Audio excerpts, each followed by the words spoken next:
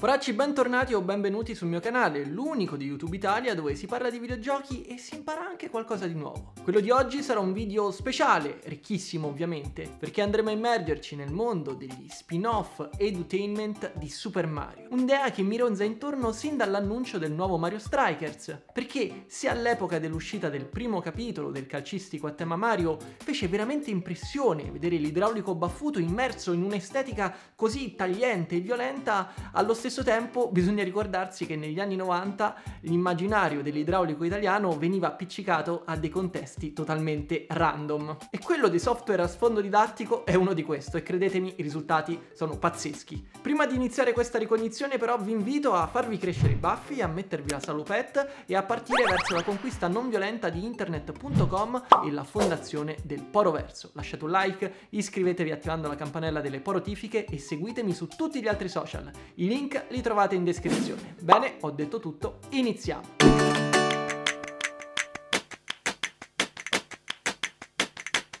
Partiamo da un presupposto. In passato Nintendo, se fiutava un buon affare, non si faceva scrupoli e affidava senza problemi la sua IP più importante anche a degli sviluppatori che non avevano la più pallida idea di come sfruttare il suo potenziale. Ecco quindi quella che viene chiamata la serie di Mario Discovery, un insieme di 5 giochi edutainment sviluppati da The Software Toolworks sotto licenza da Nintendo. Per edutainment si intende quella categoria di software che hanno principalmente uno scopo didattico, ma che nascondono la loro essenza sotto una presentazione da videogame. Insomma, una trappola per ragazzi che, convinti di giocare videogames, si ritrovavano praticamente a scuola. Nei primi anni 90 però questo genere stava letteralmente esplodendo grazie a serie di successo come Carmen San Diego e Matt Blaster e Nintendo non poteva di certo farsi scappare l'occasione di capitalizzare su questo settore che ancora non aveva aggredito. Ecco quindi 5 giochi della Mario Discovery che sono uno meglio dell'altro e partiamo proprio dal primo di tutti, ovvero Mario Is Missing, uscito tra il 1992 e il 1993 su DOS, quindi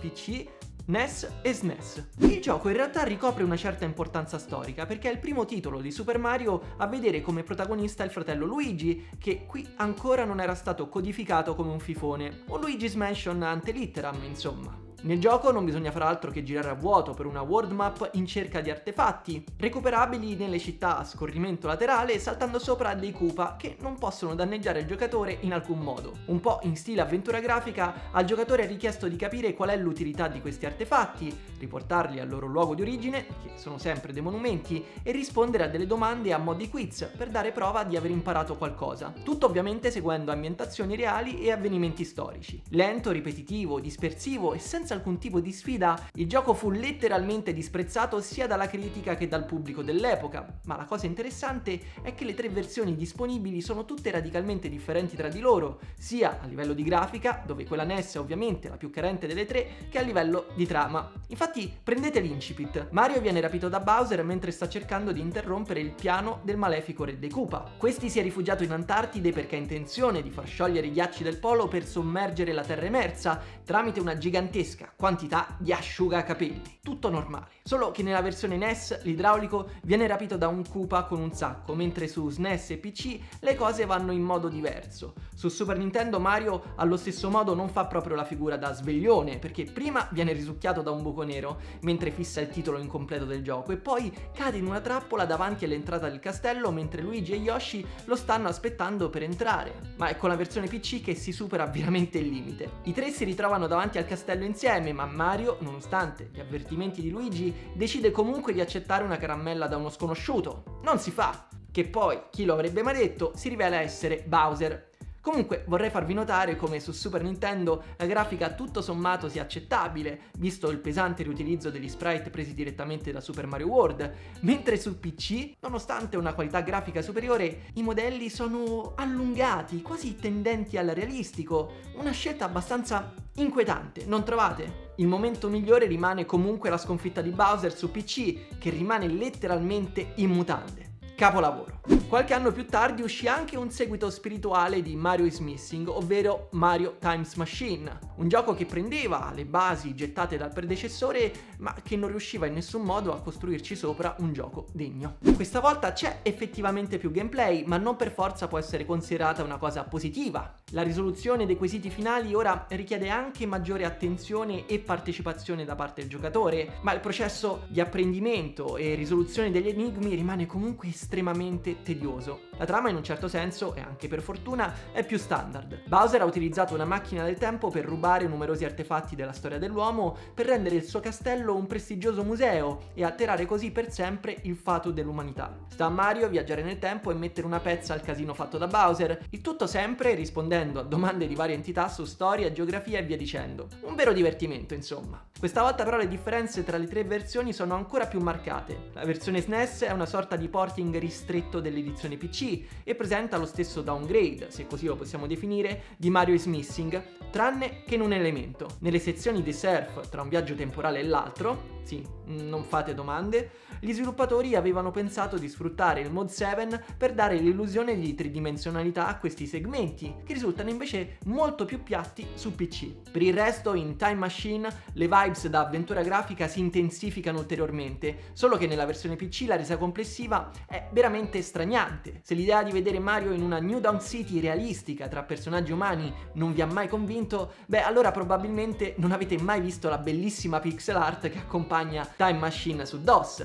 Però c'è da dire che l'interfaccia che sfrutta il mouse vince a mani basse in termini di fruibilità dell'avventura, che su SNES e NES rende tedioso anche solo impostare di volta in volta le coordinate della macchina del tempo. A proposito, la versione NES, e credo non ci sia neanche bisogno di dirlo, è veramente scandalosa, anche se confrontata con i già non proprio eccelsi porting per PC e Super Nintendo. Ad esempio provava ad aggiungere delle sezioni in stile primo Mario Bros, che però purtroppo non facevano altro che rendere ancora più meccanica e tediosa la progressione di gioco. E poi scusate, ma su PC ci sono addirittura tre finali differenti, con addirittura due tipi diversi di game over. Bowser che va in paradiso, oppure Mario che finisce intrappolato nella preistoria. Morale della favola? Studiate, se no fate una brutta fine. E ora arriviamo alla trilogia finale, quella dei Mario's Early Years, composta da Mario Fun with Letters, Fun with Numbers e Preschool Fun. Ma attenzione, perché in Europa, o meglio in Inghilterra, furono tutti e tre distribuiti con un nome differente, ovvero Mario Teaches Words, Mario Teaches Sums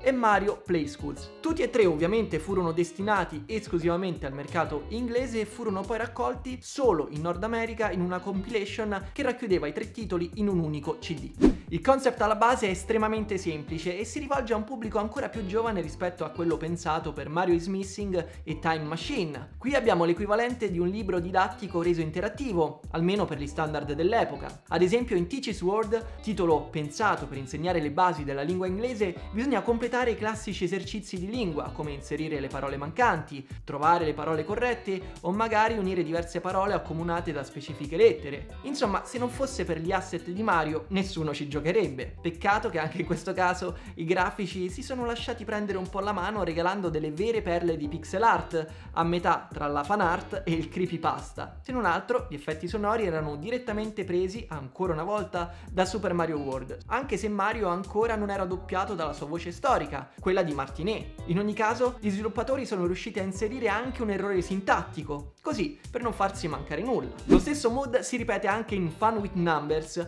e lo si capisce già dalla copertina copertina. Sul serio, può esistere qualcosa di più inquietante di questa roba? Non credo. C'è comunque molto più a livello contenutistico di quanto possiate immaginare, perché in Fun with Numbers vengono introdotti anche concetti rudimentali di geometria. Niente male, eh? Comunque, proprio come nel suo predecessore, la vera star di questa produzione sono le canzoni utilizzate per facilitare l'apprendimento. Monkey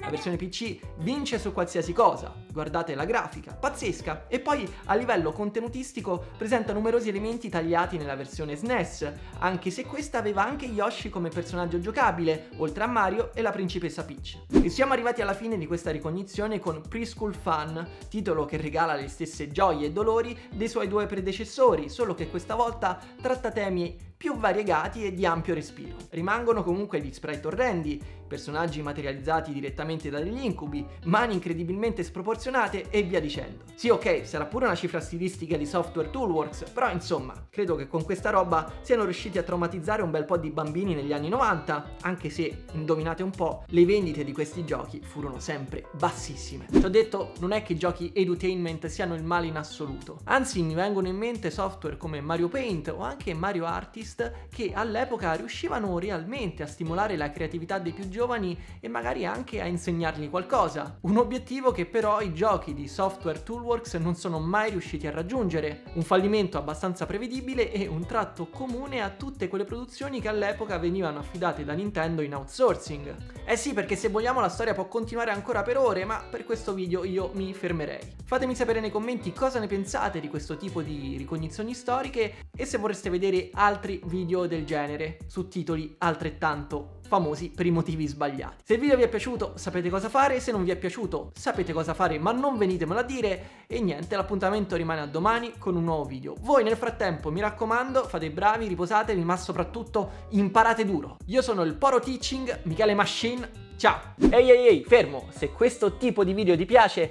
prendi in considerazione l'idea di supportarmi sul Poreon, il Patreon dei Poracci. Con un piccolo contributo mensile mi puoi aiutare enormemente a portare avanti i contenuti qua sul canale e in cambio ricevi anche delle ricompense di tutto rispetto come retroscena, anteprime e anche live esclusive dove andremo a caccia di retro game. Ti lascio il link in descrizione e ricordati che Poracci si diventa.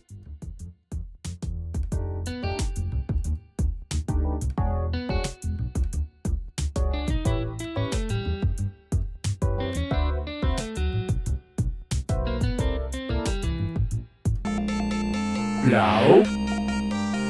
Blau.